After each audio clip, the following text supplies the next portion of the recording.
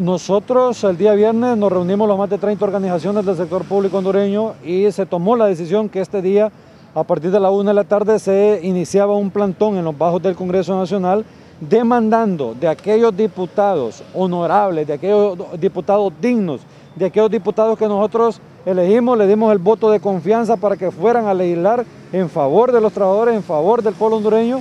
Y hoy se puede aprobar el presupuesto que fue enviado del Poder Ejecutivo eh, en, varios, en varios sentidos. Número uno es, este país necesita seguir avanzando, pero para seguir avanzando necesita que haya la aprobación de un presupuesto para el 2023. Y el otro tema es, los trabajadores necesitamos un ajuste salarial digno para la clase trabajadora.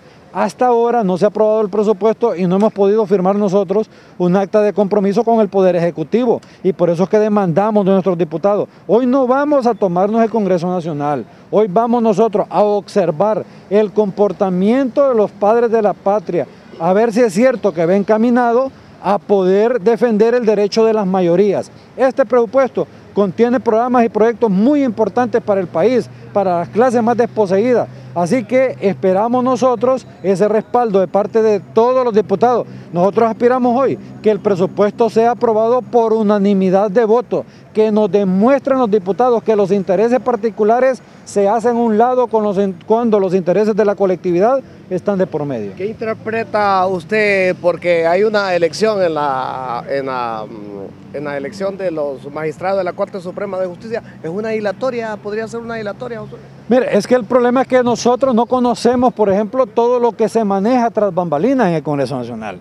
Pero los intereses que juegan en el Congreso Nacional son grandísimos.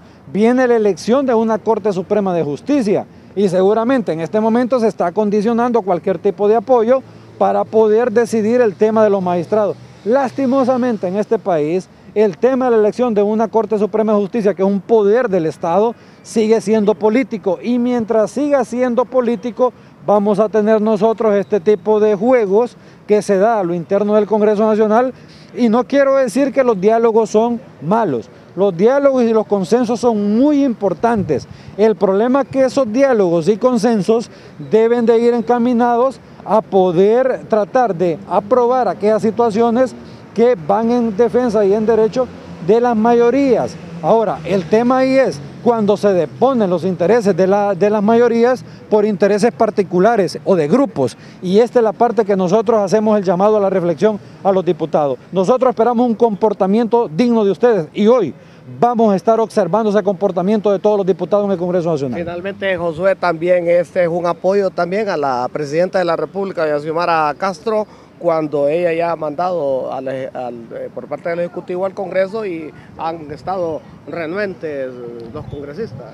Bueno, nosotros estamos demandando que el presupuesto que se envió del Poder Ejecutivo al Poder Legislativo sea aprobado. Eso nosotros lo estamos demandando. Y otra cosa, mire, y que no se molesten aquellos que siempre salen diciendo situaciones que es que nosotros estamos acomodados como trabajadores. Nosotros no levantamos la bandera de ningún partido político. Aquí defendemos los intereses de las colectividades y los trabajadores, que es lo que nos demandan los trabajadores. Pero hay que decir algo. Si a este gobierno le va bien y si a la presidenta le va bien, nos va a ir bien a todos los hondureños. ¿Cuál es el temor? ¿Cuál es el miedo? Yo creo que aquí lo que debemos de hacer nosotros es unirnos en un haz de voluntades todos los hondureños al gobierno de la República, no importa quién esté. En este momento históricamente está una mujer y debemos de apoyarla para que pueda hacer una muy buena gestión el gobierno y al final nosotros podamos cosechar esos frutos que se pretenden a nivel del Ejecutivo. Así que el llamado para los diputados, unámonos todos, aprueben ese presupuesto y seguramente este país va a ir caminando hacia el futuro que nosotros queremos que se construya.